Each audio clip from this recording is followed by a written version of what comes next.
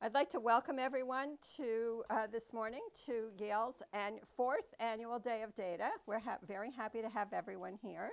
Um, my name is Jill Parchuck. I'm the Associate University Librarian for Science, Social Science, and Medicine, and I'll be your host for the morning.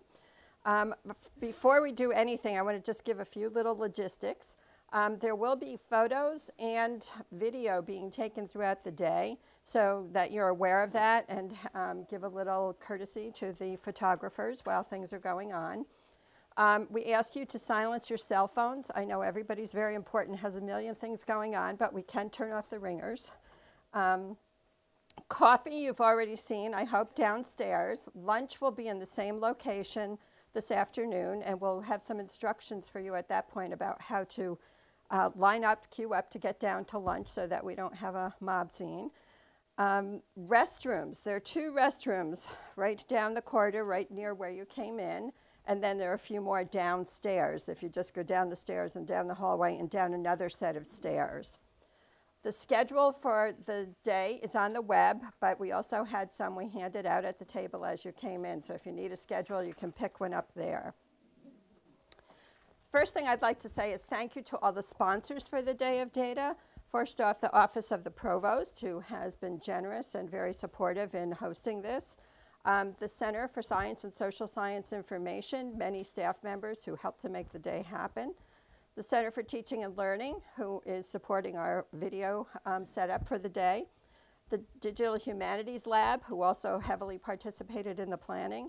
The Institution for Social and Policy Studies, who's been a great supporter of Day of Data from the beginning and um, did a lot of the planning also.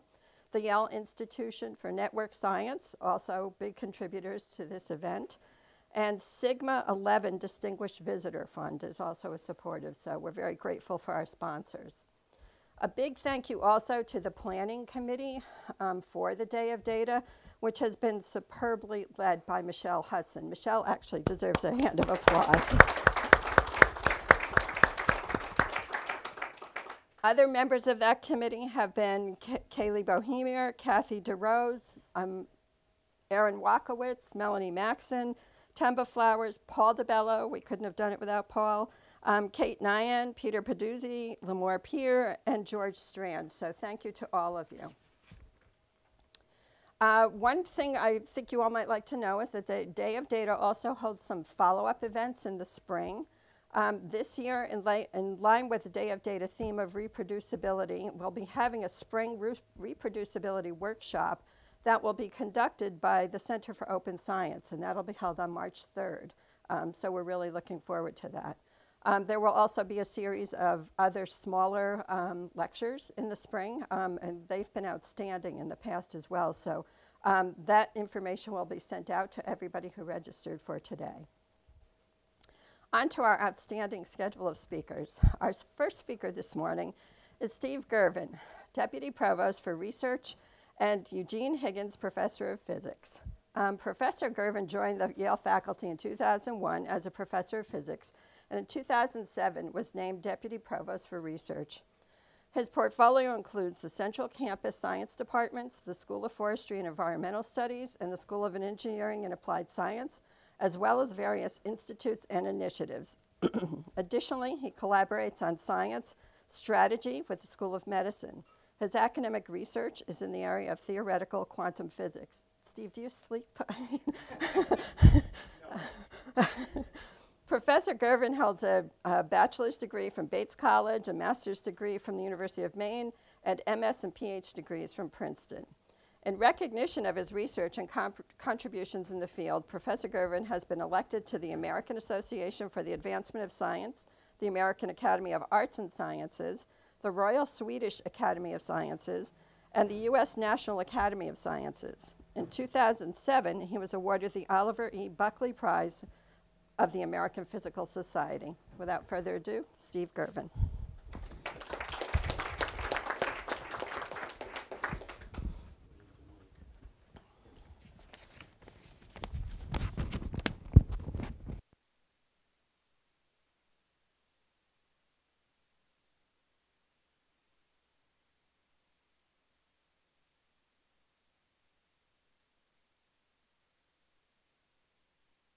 Hooked up to my one of my various science studies today is astronomy.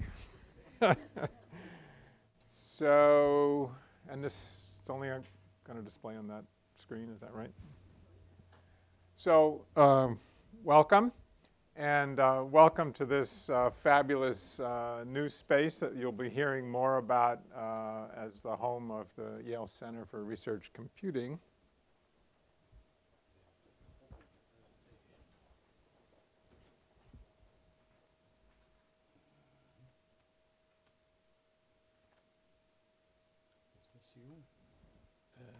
Second one.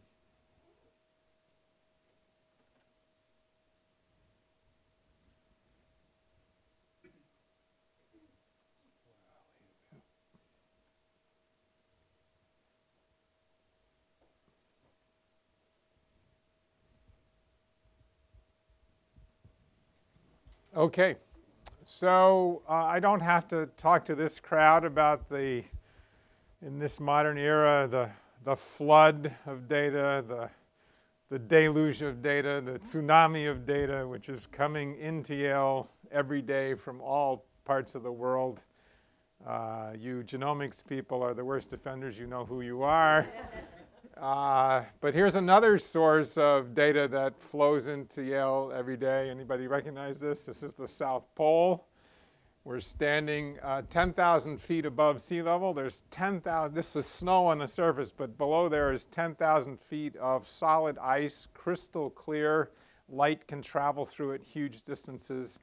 And uh, there are lots and lots of photomultiplier detectors where they melted a hole thousands of feet down, buried them in the ice, and trillions and trillions of neutrinos from uh, the galaxy are passing through every square centimeter of that space every second, and occasionally one of them interacts with the ice and gives off a bit of light.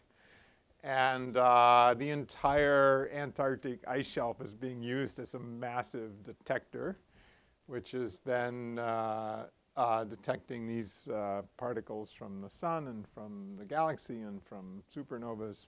Amazing uh, and weird source of data which uh, flows into the university uh, each day. And of course, there are many, many uh, uh, bigger sources than that. Uh, where cryo-electron microscopy is about to start on the West Campus. That'll be um, attempting to catch up with the genomics people, but the genomics people will probably still win that race.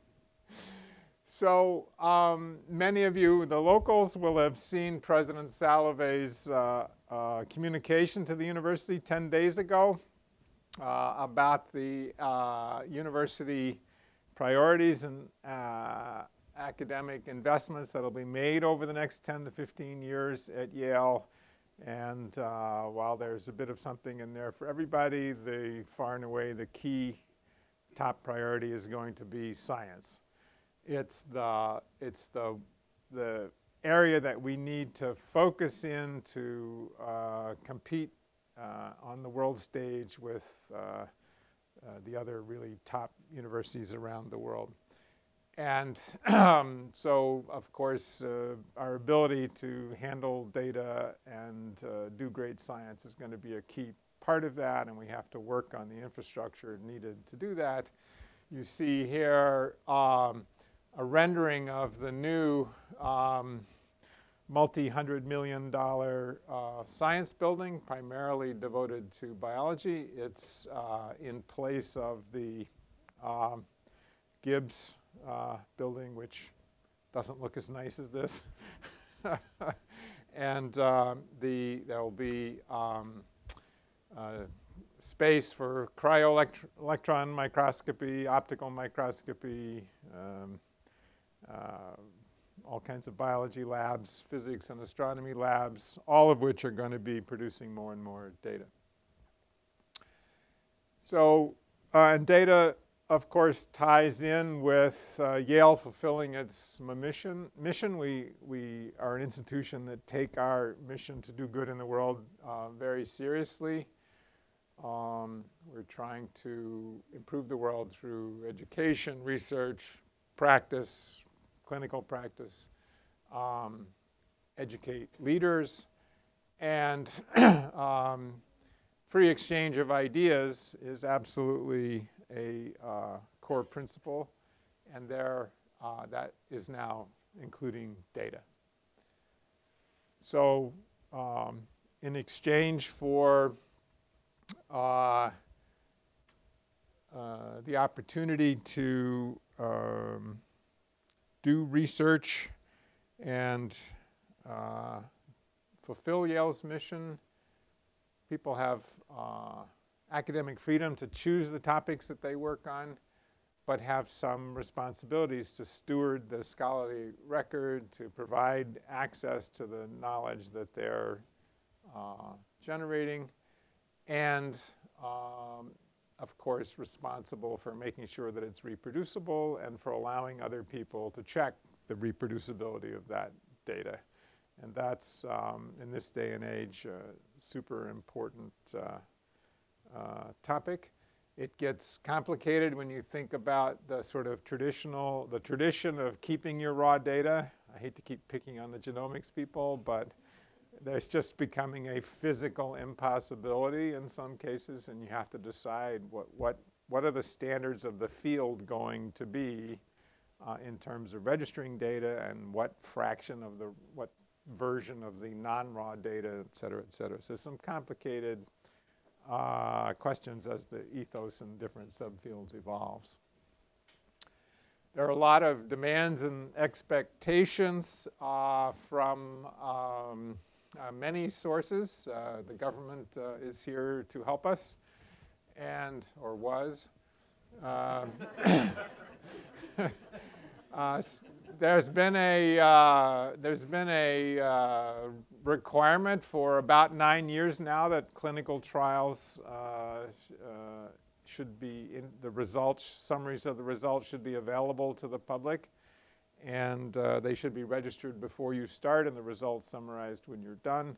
That enforcement has uh, not been uh, strong, but starting January 18th, it's going to be very strong, and we have to be um, prepared and have systems in place to, uh, with the institutional review boards, et cetera, et cetera, to make sure that that happens uh, everybody knows that OSTP has been uh, promulgating policies about um, uh, open access to data.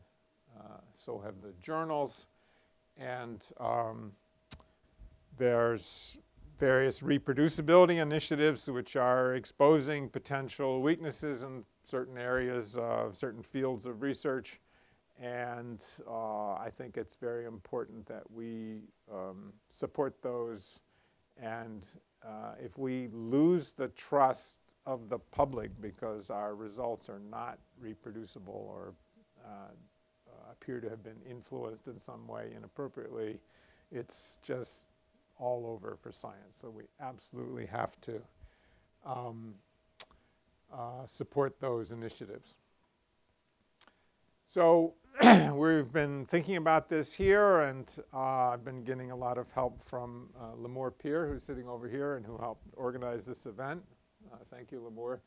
Uh, thinking about uh, policies and guidelines, uh, services and centers that, that Yale has now or should have now, and education and training, um, not just for the young people, but also for um, faculty who are uh, beginning to uh, see the tsunami uh, data coming towards them.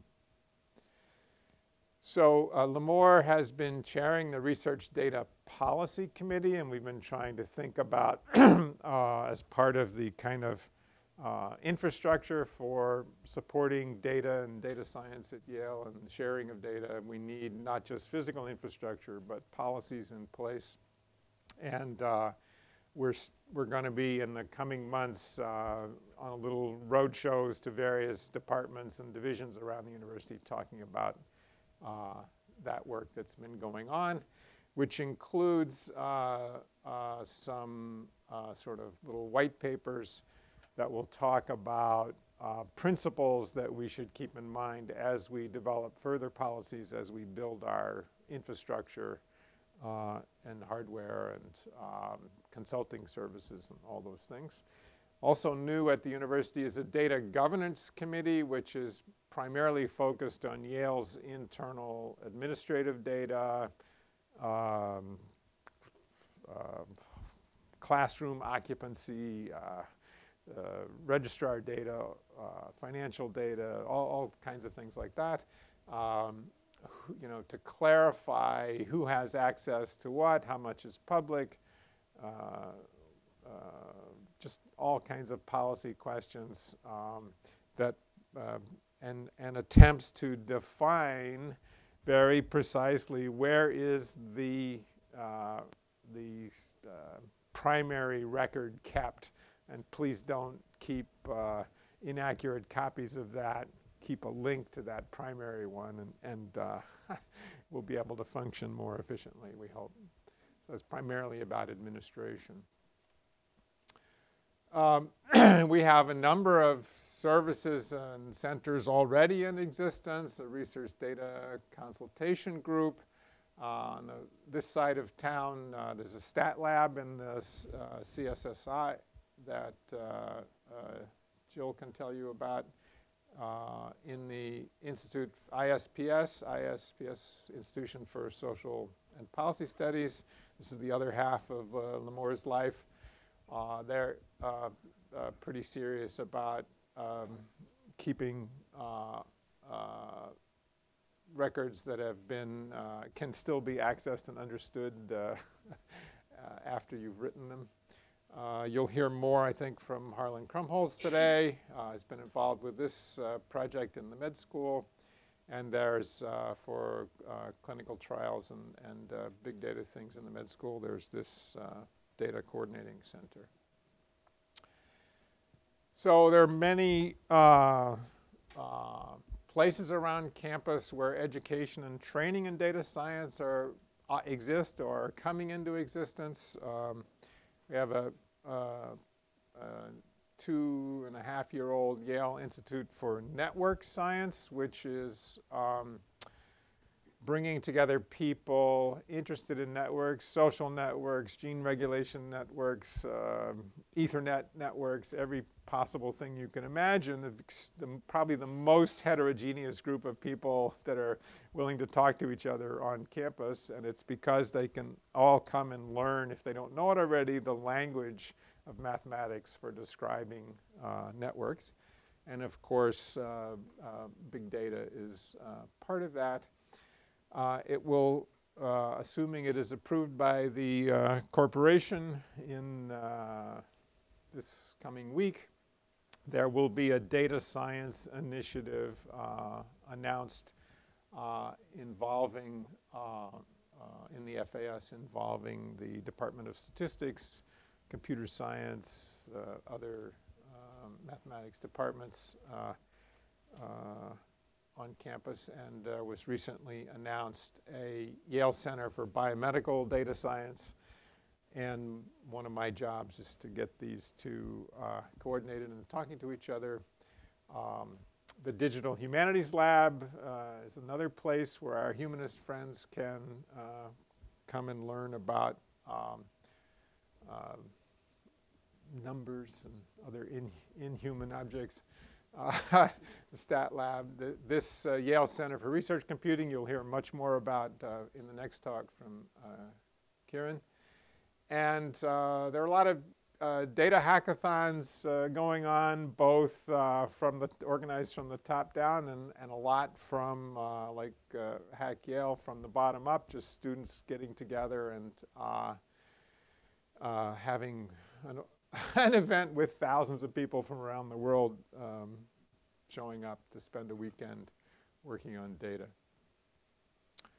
So uh, this is intended to not be readable, just to illustrate the uh, scale of things that we e either have or need to have in the, in the coming future in order to manage the whole data life cycle and for those parts of it, the research that are externally funded, they're kind of the pre-award, award, and post-award parts. And some of these things uh, uh, are in place. Many more need to be worked on.